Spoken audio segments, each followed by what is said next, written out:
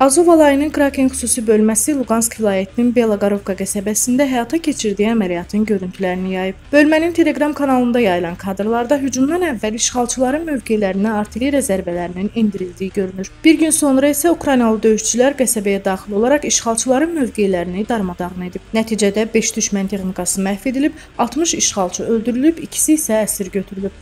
Əməliyyatın görüntülərini təqdim edirik.